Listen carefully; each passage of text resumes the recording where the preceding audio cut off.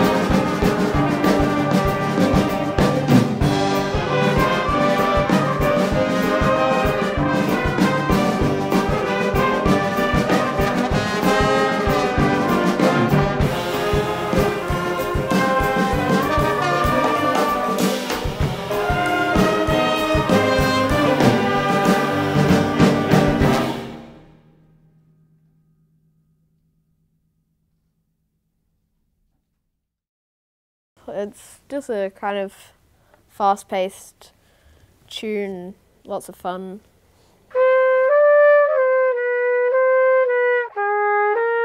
It's a bit of everything, you know. Lots of solos in the middle. Pretty good, I like it.